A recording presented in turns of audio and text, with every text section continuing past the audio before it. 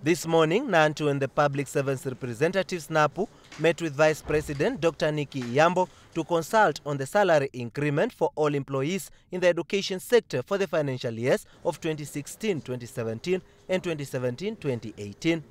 Also forming part of the meeting was the Minister of Higher Education, the Deputy Minister of Education, Arts and Culture, and other officials from various ministries.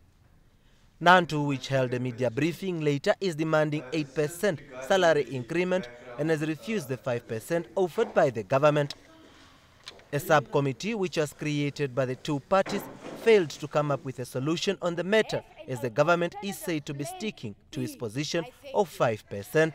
In the light of the above, we are giving the Office of the Prime Minister five working days to revise the parameter of negotiation on our demand with effect from 31st of May 2016.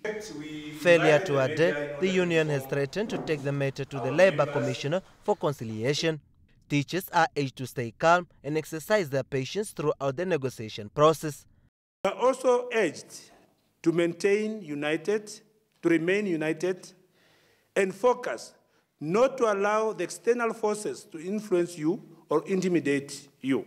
Salomo Tenga, NBC News, Ben Dok.